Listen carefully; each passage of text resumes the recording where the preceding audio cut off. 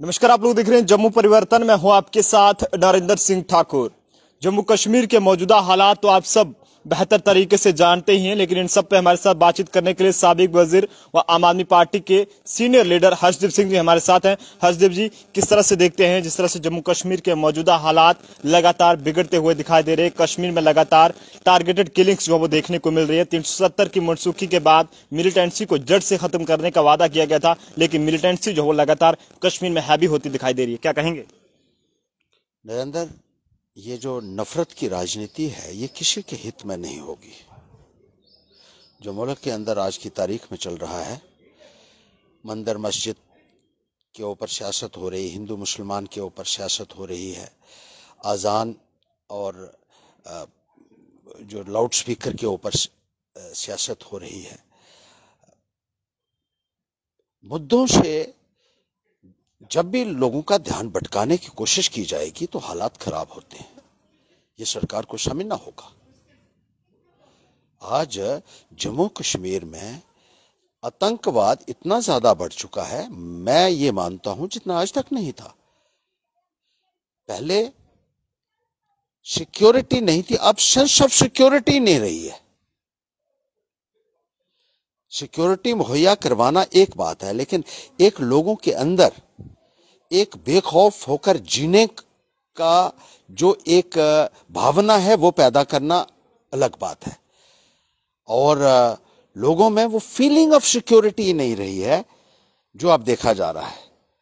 जो civilian killings हो रही हैं, वो पिछले कई सालों से हमने नहीं देखी थी। जो 1990 का माहौल है, वो कश्मीर में वापस दोहराया जा रहा है, ऐसा लगता है कि उसको वापस उस माहौल को लाने की कोशिश की जा रही है। कौन लोग इसके लिए जिम्मेदार हैं? ये क्यों हो रहा है? अगर मिलिटेंसी पिछले 20-22 वर्षों से लगभग उसका अंत हो चुका था तो ये वापस रिवाइव कैसे हो रही है? क्या ये कोई साजिश का हिस्सा तो नहीं है? इसके लिए जिम्मेदार कौन लोग हैं? ये रिवाइवल मिलिटेंसी का क्यों हो रहा है? इसके लिए कहीं ना कहीं सरकार को जवाब देना पड़ेगा। रविंदर रैना भी आ, उनके उस शख्स के घर पहुँचे थे जिस कश्मीरी पंडित की किलिंग जो है वो कश्मीर में देखने को मिली। लेकिन लोगों में काफ़ी गुस्सा था कि कहीं ना कहीं बीजेपी जो है वो कश्मीरी पंडित की सेफ्टी को यकीनी बनाने में पूरे तरीके से नाकाम रही है। क्या देखिए वही बात मैं कह रहा हूँ कि अब वो फीलिंग ऑफ़ सिक्योरिटी उनके अंदर नहीं रही है। कश्मीरी जो वहाँ माइनॉरिटी कम्युनिटी है उन्होंने अपना भरोसा भारतीय जनता पार्टी में जिताया था। और उनको फुल समर्थन भी उन्होंने किया। इस भावना के साथ, इस सोच के साथ कि उनकी सुरक्षा की ज़िम्मेदारी सरकार ने भरोसा उनको दिलाया था। लेकिन हो क्या रहा है? दफ्तरों के अंदर घुसकर जब आतंकवादी सिलेक्टिव किलिंग करने लगे तो क्या सरकार को जवाब नहीं देना है?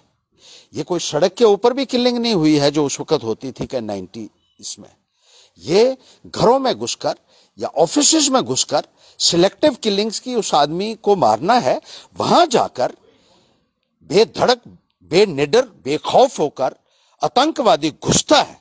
उस कम्प्लेक्स के अंदर कैसे घुसता है? बहुत बड़ी एक एक सवालिया निशान सरकार के ऊपर भी जाता है इसमें। और हर बार आप ये कहेंगे कि पाकिस्तान को कोस कर आप अपना पल्ला झाड़ लेते हैं, ये ज़्यादा देर तक आपका ये ये आपकी टैक्टिक्स जो है, ये स्ट्रेटेजी आपकी चलने वाली नहीं है। पाकिस्तान तो हमेशा से ही एक दुश्मनी का रोल निभाता रहा है आतंकवाद को बढ़ावा देता रहा है। लेकिन आपने ये कहा था कि इन्फिल्ट्रेशन नहीं होगी जब आपकी सरकार आएगी। मुझे याद है, आज भी नरेंद्र मोदी जी कहते थे कि इन्फिल्ट्रेशन इसलिए होती है क्योंकि दिल्ली कमज़ोर है। दिल्ली में बैठी हुई लीडरशिप कमज़ोर है। और यह कहा जाता था कि जब उनकी सरकार आएगी तो इस किस्म का कोई भी वाक्य देखने को नहीं मिलेगा और पाकिस्तान आँख उठाकर देखने की हिमाकत नहीं करेगा। लेकिन जितनी दहशत गर्दी पाकिस्तान ने पिछले सात आठ वर्षों में मचाई है और खासतौर पर पिछले दो तीन सालों से तो आतंकवाद की इंतहा हो गई है। कितने ही बे बेगुनाहों का कत्ल हुए हैं। कितने ही सिक्योरिटी फोर्सेस के जवान हमारे मारे गए हैं। और आप उसमें से पॉलिटिकल कैपिटल अगर डिराइव करने की कोशिश करते हैं तो ये एक बहुत ही बदकिस्मती है पूरे मुल्क के लिए ये मैं मानता हूँ। डॉक्टर फारूक अब्दुल्ला का कहना है कि कश्मीर में जो हालात खराब हो रहे हैं उसकी वजह जो है वो कश्मीर फ़ाइल मूवी है जो कुछ ही महीने पहले जो है वो रिलीज़ हुई थी तो वो वो उसी मूवी उस मूवी को जो है पूरे तरीके से बैन किया जाना चाहिए तभी जाकर हालात जो है वो ठीक हो सकते हैं। आप इस बयान को किस तरह से देखते हैं? देखिए मूवीज़ के ऊपर पॉलिटिक्स करना मुझे नहीं लगता कि सही होगा चाहे वो बीजेपी है चाहे वो दूसरी पोलिटिकल पार्टीज़ हैं। सवाल ये है कि आप लोगों को सुरक्षा नहीं दे पाए हैं, जो सरकार की सबसे बड़ी ज़िम्मेदारी बनती है। Safeguarding the life and properties of the people is the primary responsibility of every government और वो सिक्योरिटी जो है वो नहीं दे पाए। और जैसे मैंने कहा सिक्योरिटी तो नहीं दे पाए, एक सेंस ऑफ़ सिक्योरिटी तो दीजिए, जहाँ इंसान अपने आप को महफूज ही ना समझता हो तो फिर तो सरकार को मुझे नहीं लगता कि सत्ता में बने रहने का कोई अधिकार है। और जिस तरीके से कश्मीर में हुआ, आपने देखा होगा कि माइनॉरिटी जो कम्युनिटी के मेंबर्स हैं, वो खुल के सड़कों के ऊपर आ गए और मास रेजिग्नेशन से वो देने लगे। और उन्होंने प्रदर्शन वहाँ वो करने लगे, जैसा आज तक नहीं हुआ है। तो ये दर्शाता है कि उनका विश्वास कहीं ना कहीं सरकार के ऊपर से उठ चुका है कि सरकार उनको सुरक्षा मुहैया करवाने में सफल नहीं हो रही है। लोगों का विश्वास खोता जा रहा है। अदरवाइज़ कोई मास रेजिग्नेशन इस तरीके से नहीं देता है।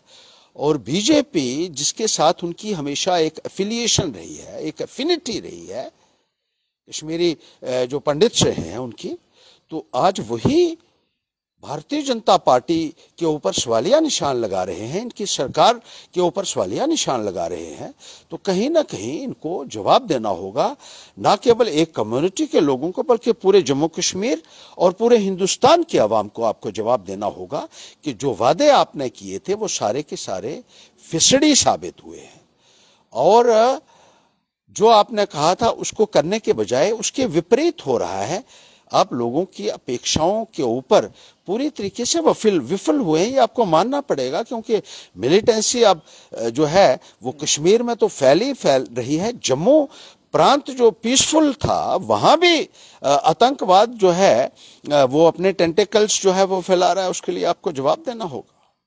हर्षदेव जी जम्मू कश्मीर का नौजवान इस वक्त काफ़ी ज़्यादा परेशान है। हालाँकि क्योंकि उनके लिए रास्ता कोई भी इस वक्त जो है वो दिखाई नहीं दे रहा है। कहीं भी उम्मीद की किरण हिलती नज़र नहीं आ रही है। कहीं भी कोई भी किस तरह की जने की जिस तरह से पहले रिक्रूटमेंट जो है वो काफ़ी ज़्यादा तेज़ी से होती थी, वैसा भी कुछ दिखाई नहीं दे रहा है। तीन सौ सत्तर की मनसूखी के बाद ये सपने दिखाए गए थे कि अब नौकरियों की जम्मू कश्मीर में बारिश यानी कि बोशार होगी, लेकिन ऐसा कहीं भी देखने को नहीं मिल रहा है। लगातार नौजवान जो है वो एज होते जा रहे हैं और बाद में सरकार भी कह देती है कि यहाँ पर हम इतने से इतने तक का क्राइटेरिया रखा है, इतने से इतने एज तक के बच्चे ही जो है वो इसमें हिस्सा ले सकते हैं। तो क्या कहेंगे कि किस तरह के कदम उठाने की ज़रूरत है? और अगर आम आदमी पार्टी की सरकार जम्मू कश्मीर में आती है तो नौजवानों को किस तरह से इंसाफ दिलाएगी? देखिए जम्मू कश्मीर एक क्राइसिस से गुजर रहा है आज की तारीख में। ना केवल लॉ एंड ऑर्डर सिचुएशन में डिटेरियोरेशन हो रही है बल्कि डेवलपमेंट के लिहाज से भी अगर आप देखें तो आपको सिर्फ़ किताबों में डेवलपमेंट मिलेगी हकीकत में नहीं है। गाँव में चले जाइए बिजली की दिक्कत पानी की दिक्कत सड़कों की दिक्कत स्कूलों की दिक्कत आपको स्कूलों में कहीं स्टाफ नहीं दिखेगा। हम्म। और अस्पतालों में कहीं आपको डॉक्टर नहीं मिलेगा मेडिकल स्टाफ आपको नहीं दिखेगा। और ऊपर से सरकार ने ये फैसला कर लिया कि 10 साल तक टीचर्स की भर्ती नहीं आपको करनी है। बहुत अजीब फैसले जो हैं वो लिए जा रहे हैं। एक मायूसी का माहौल पूरे जम्मू कश्मीर में देखने को मिल रहा है। जैसे मैंने कहा कि एक क्राइसिस से जम्मू कश्मीर आज की तारीख में गुजर रहा है। आपने एम्प्लॉयमेंट के बड़े बड़े दावे किए।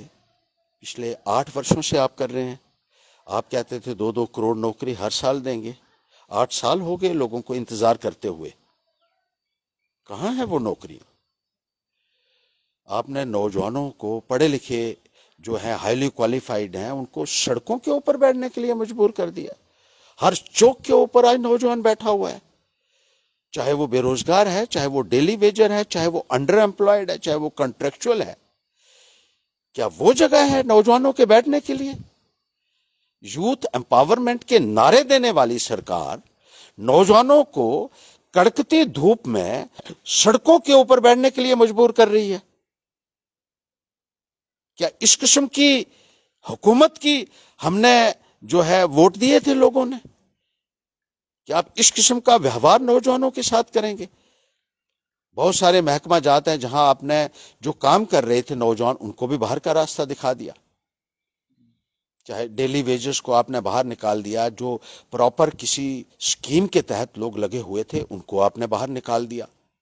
आपने कॉन्ट्रेक्चुअल टीचर्स को बाहर निकाल दिया, आपने भारत साक्षर मिशन के तहत जो लोग थे उनको बाहर निकाल दिया, आपने समागरा के तहत टीचर्स जो लगे हुए थे उनको बाहर निकाल दिया। हेल्थ डिपार्टमेंट में जो कोरोना के वक्त जिन्होंने अपनी सेवाएँ दी, उनको आपने बाहर निकाल दिया। आप में तो संवेदना नाम की कोई चीज़ नज़र ही नहीं आती है। और जो सरकार नौजवानों के साथ इस तरीके का व्यवहार करती है मुझे समझ में नहीं आता कि उसके लिए मुझे क्या कहना चाहिए। मेरे पास तो अल्फाज ही नहीं है कि मैं उन नौजवानों का दर्द भी बयान कर सकूँ जिनके साथ आपने वादे किए और जिन्होंने आपके ऊपर भरोसा करके सरकार बनाने में एक बहुत अहम भूमिका अदा की थी। आज वही यूथ जो है वो निराश है और कहीं ना कहीं आपको उसका सिला जो है वो मिलेगा और अंजाम आपको भुगतना पड़ेगा। हर्षदीप जी, आपसे एक अलग से सवाल पूछना चाहेंगे। जब से आपने आम आदमी पार्टी को ज्वाइन किया है। और उसमें ये कहें कि बलवंत सिंह मनकोटिया और हर्षदेव जी जो एक जम्मू के यानी कि डुग्गर के शेर माने जाते थे वो एक मंच पर जो है वो देखने को नहीं मिल रहे हैं। क्या वजह है क्या मालूम नहीं है उनको उनके बारे में तो मैं नहीं कह सकता हूँ। लेकिन मैं तो लगा हूँ आठ साल से। आठ साल से लगातार मैं जद्दोजहद कर रहा हूँ एक एक मसले को उभार रहा हूँ।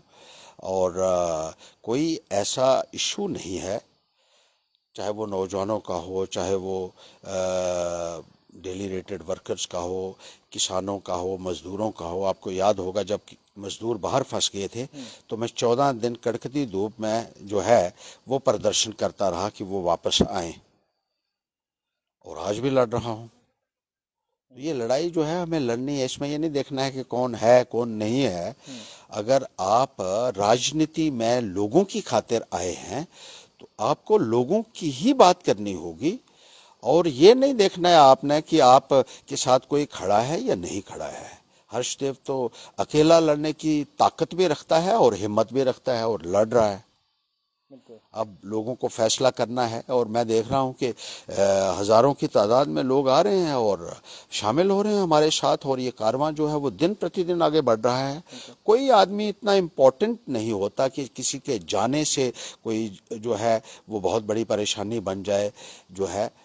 मैं समझता हूँ कि एक कमिटमेंट काज के साथ होनी चाहिए कि हमें लोगों के साथ अगर लोगों के लिए काम करना है तो फिर हमें बाकी सारी चीज़ों को जो है वो दरकिनार करना होगा। अपने छोटे छोटे जो पर्सनल इंटरेस्ट हैं उनसे ऊपर उठकर हमें काम करना होगा। हर्षदीप जी आखिरी सवाल है। कहा यह भी जा रहा है कि जब से हर्षदीप सिंह ने आम आदमी पार्टी ज्वाइन किया तो बलवंत सिंह मुनकोटिया के दोबारा से पैंथर्स पार्टी में शामिल होने के जाने की इस तरह से कहा जा रहा है कि दोबारा से पैंथर्स पार्टी में शामिल हो सकते हैं। ये मैं तो नहीं जानता ये तो उन्हीं को पता बात नहीं होती आपस में नहीं, मुझे तो पब्लिक डीलिंग से ही फुर्सत नहीं मिल रही है। आपने देखा होगा कि आपको भी एक घंटा बैठना पड़ा इंटरव्यू लेने के लिए। तो मैं लगा हूँ और लोगों की बात कर रहा हूँ, लोगों के लिए लड़ रहा हूँ। तो मुझे इस बारे में कोई जानकारी नहीं है। शुक्रिया। तो आम आदमी पार्टी के सीनियर लीडर हर्षदीप सिंह जी व सबक वज़ीर हमारे साथ थे जिन्होंने जम्मू कश्मीर के तमाम मौजूदा हालात को लेकर तफसील से बातचीत की है। और हर्षदीप सिंह जी की बात करें तो 18 साल ये एमएलए भी रह चुके हैं और इसके साथ साथ एक टाइम जो है वो एक्स एजुकेशन मिनिस्टर भी रह चुके हैं। और अपने टाइम के सारे लोगों को यानी कि हर्षदीप सिंह अपने आप में एक मिसाल है जिन्होंने अपने टाइम के सारे लोगों को जो है वो रोज़गार जो है वो फैराम करवाया है। और आज वो लोग कहीं ना कहीं आराम से अपने घर में तीन वक्त का चूल्हा जो है वो जला पा रहे हैं। आप लोग अपने राय जो है वो कमेंट बॉक्स में ज़रूर दीजिएगा। कैमरा पर्सन अभिषेक के साथ नरेंद्र सिंह ठाकुर, जम्मू।